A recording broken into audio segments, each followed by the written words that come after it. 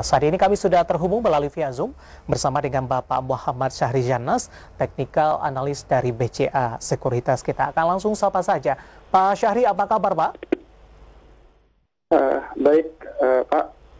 Terima kasih Pak Syahri sudah meluangkan waktu di IDX Channel. Pak Syahri mengawali uh, pekan ini Pak, uh, ini merupakan pekan terakhir di uh, bulan Mei ditutup di zona merah melemah di 0,16 persen. Tapi fluktuasi dari indeks harga saham gabungan kalau kita perhatikan mulai dari pembukaan sesi pertama hingga penutupan perdagangan di sesi kedua cukup tinggi. Uh, Pak Syahri, dari analisis Anda, bagaimana review IHSG di sepanjang perdagangan hari ini Pak? Iya, uh, terima kasih sebelumnya Mas Dasid. Uh, ini sebenarnya kalau kita lihat ya pergerakan dari uh, indeks kita ini lebih kecenderungan flat ya di antara resisten 5838 sampai dengan level support 5735 secara teknikalnya. Nah kalau kita lihat by uh, sentimen atau katalis yang mempengaruhi indeks sebenarnya cukup minim ya. Dari uh, global masih uh, uh, dari sisi inflasi yang kecemasan inflasi yang semakin uh, tinggi ketakutan akan akan inflasi ini di Amerika ini membuat uh, beberapa pelaku pasar secara global maupun domestik ini meng, meng, melakukan aksi wait and see ya wait and see terlebih dahulu. Karena memang di, di sepanjang uh, uh, pekan ini uh, pejabat The Fed akan mengumumkan uh, pidatonya di sepanjang pekan ini dan itu akan menjadi tersendiri atau uh, dapat menjadi katalis tersendiri untuk pergerakan dari dalam negeri maupun secara global. Karena memang kalau kita lihat secara bursa Asia juga ditutup uh, mix cenderung uh, bearish ya di sini. Uh, kalau kita lihat cukup terbatas juga dan ini tentunya masih akan menunggu sikap The Fed yang uh, kemudian ini akan menjadi dovish. Apakah dia akan yeah. uh, mengakhiri ini tetap taperingnya? Itu sih untuk dal, uh, untuk secara global gitu ya Mas. Pak Syahri, tadi dari uh, pergerakan indeks harga saham gabungan sempat menyentuh ke level 58, kemudian uh, terjun bebas Pak, kembali bergerak di zona merah. Uh, dengan fluktuasi yang terjadi sampai sejauh ini Pak Syahri, apakah kita bisa melihat di sini uh, ketika menyentuh ke level tertinggi 58, ini posisi trading diberlakukan Pak. Uh, ketika itu para investor ini uh, banyak melakukan profit taking, dan ketika menyentuh level terendah kemudian uh, para investor masuk kembali untuk beberapa saham tertentu. Iya, kalau kita lihat untuk strateginya untuk uh, perdagangan sekarang, kecenderungan memang saham uh, indeks harga saham gabungan di tanggal 3 Maret ya, sejak tanggal 3 Maret yang level higher uh, highest-nya di 6394 itu uh, sekarang sudah membentuk tren bearish jangka pendek. Bahkan uh, ini sudah berlangsung tiga bulan Maret April Mei kecenderungan uh, flat ya. Bahkan uh, dalam tarik garis secara medium ini sudah membentuk um, kayak uh, ini ya tren uh, tren penurunan. Nah kalau kita lihat sekarang ini strateginya uh, memanfaatkan technical rebound saja karena memang uh, trading range harian juga masih cukup minim ya dari sisi uh, di support 5735 sampai dengan 58338. Uh, nah yang menarik ini katalis dari uh, dari Indonesia sendiri dalam negeri ya. Kalau kita lihat aliran modal asing juga masih uh, masih outflow ya di pasar obligasi kita itu tercatat sudah uh, mencapai 1,48 triliun. Nah ini ini bisa diartikan bahwa ini bisa jadi uh, pengertian bahwa switching ke pasar equity kita bisa jadi yeah. juga bisa uh, keluar dari negara kita juga ya.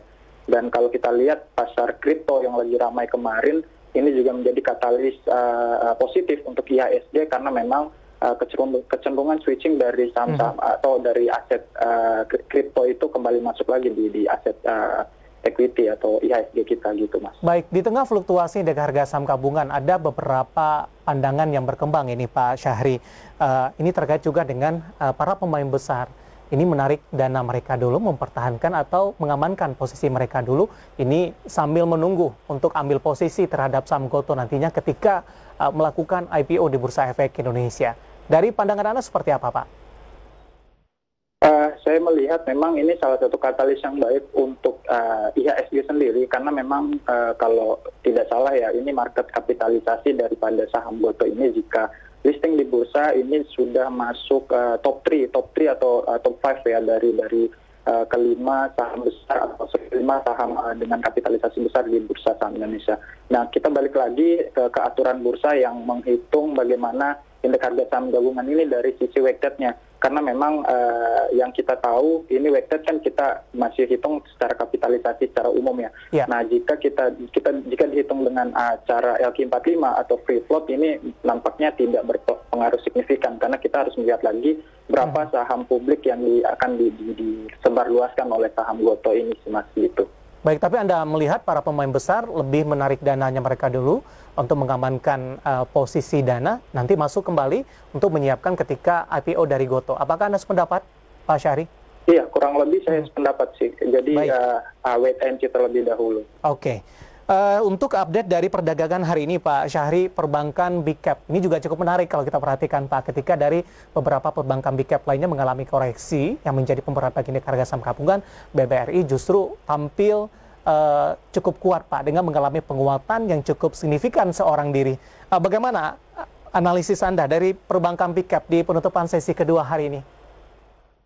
Ya, saham-saham Big Cap di sini cukup uh, terkhususnya perbankan ya memberi uh, memberi penguatan yang cukup tinggi ya ke indeks.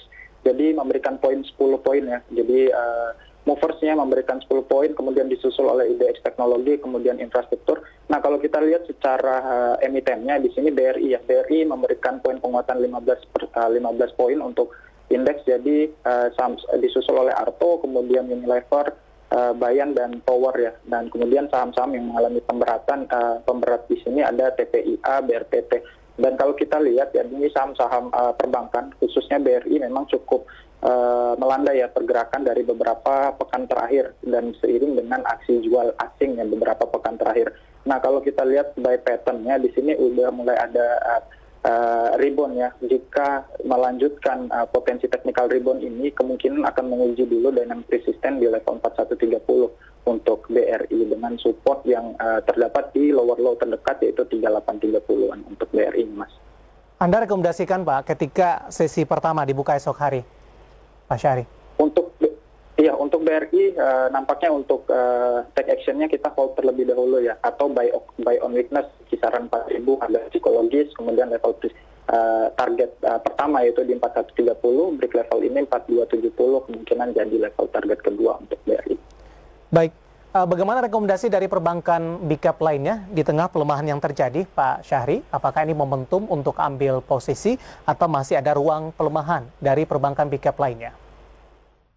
Ya, kalau saya lihat untuk perbankan uh, eh, BCAP di sini BCA, BRI masih cukup baik ya untuk di hold. Kemudian disusul ada ini BBTN ya. Kalau kita lihat BBTN ya. sudah uh, sideways cukup lama di sini di rentan 15-15 sebagai support. Kemudian resisten awal yang akan diuji ini MA 5 harinya yaitu di 1565. Jika terbreak ini artinya uh, ini akan uh, cukup kuat ya menguji higher high selanjutnya itu di level 1655 sampai dengan 1700 target psikologis untuk BBTN sendiri.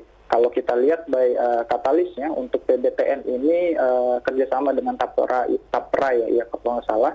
Nah ini ini mem mem uh, memberikan uh, booster sendiri atau laporan keuangan akan cenderung lebih baik ke depannya untuk di kuartal 2 dan kuartal 3 dan selanjutnya, Mas. Baik, rekomendasi dari beberapa perbankan WeCap dan juga ada PPTN dan semoga bisa menjadi salah satu referensi untuk Anda. Untuk topik pilihan Pak Syahri, uh, kita dari emiten penerbangan Pak ada Garuda Indonesia. Tadi pun juga sama-sama kita sampaikan dari sisi kondisi terkini, kemudian proyeksi uh, mereka masih akan tetap merugi di tahun uh, 2020 ini. Dan secara teknikal, di penutupan sesi kedua hari ini melemah di 6,96 persen dan ditutup di, di level 294. Bagaimana Anda melihat view ataupun look-nya untuk GIA, Pak Syahri? Iya, hari ini untuk Garuda Indonesia uh, ARB ya, auto reject bawah ya. di level 294. Jika uh, esok hari dibuka lebih rendah lagi, nampaknya uh, cukup baik ya untuk memaksimalkan jangka pendek kita atau untuk masuk yaitu di harga 274 sampai 276 karena di situ ada support uh, terdekatnya yaitu di lowest tanggal 1 Februari lalu. Namun memang kalau kita lihat secara kinerja memang uh, dengan aksi apa namanya uh, aksi uh, restrukturisasi yang dilakukan oleh perusahaan yaitu ya di mana Uh, 142-nya di mana setengahnya harus di, di, dihentikan untuk uh, armadanya seiring dengan volume penumpang juga yang uh, selama pandemi ini tidak begitu banyak. Dan kita tahu bahwa industri penerbangan memang uh, ber, khususnya Garuda ini berbicara uh, kebanyakan leasingnya 60 persennya itu leasing jadi artinya jika tidak ada aktivitas penumpang atau uh, aktivitas uh, perjalanan kurang lebih ini akan menekan daripada biaya maintenance atau leasingnya tersendiri itu kurang lebih jadi kalau secara teknikal jangka pendek kita bisa uh, coba untuk uh, mengakumulasi di level harga auto reject bawah uh, untuk esok hari di level okay. 274 sampai 276 untuk Baik. uh, IAA. Ya, akumulasi 274 dan 276. Uh, artinya ini masih direkomendasikan Pak Syahri? Iya, dengan ya. catatan kita ansi lebih bawah lagi. Oke, uh, secara teknikal gambarannya seperti apa Pak? Potensi penguatan dari GIA secara fundamental tadi sudah kita sampaikan uh, uh, bagaimana kondisi terkini dari uh, GIA. Nah, di tengah dari kondisi fundamentalnya yang kurang mendukung begitu, nah bagaimana perjalanannya secara teknikal ketika direkomendasikan akumulasi di 274 dan 276? Ya, paling uh, uh, di sini cukup ada pepatah ya dari beberapa uh, teknikalis gitu ya kalau kita lihat kita uh, jangan menangkap pisau yang jatuh gitu kan. Ya. Nah, untuk kita lihat ini pergerakan daripada uh, Garuda ini uh, dengan uh, penurunan yang cukup dalam sekarang yaitu Uh, kita bisa mainkan area bottom fishingnya yaitu di 276 ya kurang lebih. Nah jika 276 ini paling tidak uh, akan banyak uh, antrian di sini kurang lebih kita uh, bisa ikut uh, untuk uh, memanfaatkan technical rebound jangka pendeknya dengan target terdekat jika jika uh, match di harga itu 280 sampai dengan level psikologis 300 kemungkinan jangka pendek masih bisa tercapai untuk Garuda.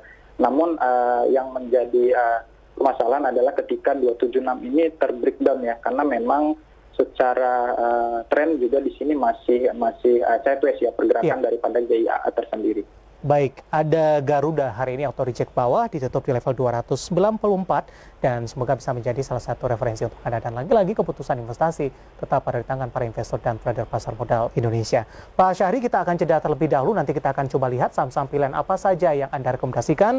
Pertanyaan masuk di WhatsApp interaktif kami sudah cukup banyak yang masuk nanti kita akan coba ulas satu persatu dan pemirsa telah bersama